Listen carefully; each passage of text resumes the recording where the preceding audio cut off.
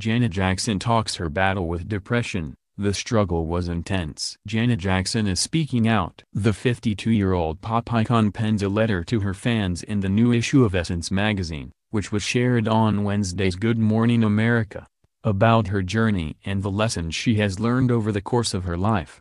I struggled with depression. The struggle was intense, Jackson writes about her 30s. Low self-esteem might be rooted in childhood feelings of inferiority. It could relate to failing to meet impossibly high standards. And of course there are always the societal issues of racism and sexism. Put it all together and depression is a tenacious and scary condition. Thankfully, I found my way through it. Jackson went on to say in the present day it's the love of her one-year-old son, Eissa Al Mana, that brings her so much joy. The height of happiness is holding my baby son in my arms and hearing him coo, or when I look into his smiling eyes and watch him respond to my tenderness, she writes of her little boy. When I kiss him, when I sing him softly to sleep, during those sacred times, happiness is everywhere. Also in the Essence letter, Jackson writes about the hashtag MeToo movement and female empowerment. We are living at a time in history when women all over the world are refusing to be controlled, manipulated,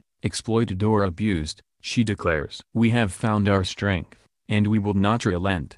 When Jackson reflected on her early years as a child she said, I was happy when my brothers came home from performing on the road. I was happy when my mother lavished me with love. But I wasn't happy with the way I looked. As for her teens, the star wrote, Happiness came when people asked me to perform. But I was happiest when I was pleasing others and not myself. An older and wiser Janet might have said, True happiness is knowing you're doing the best you can. Jackson did not touch on her current ongoing custody battle with her ex, Wissam Al Mana.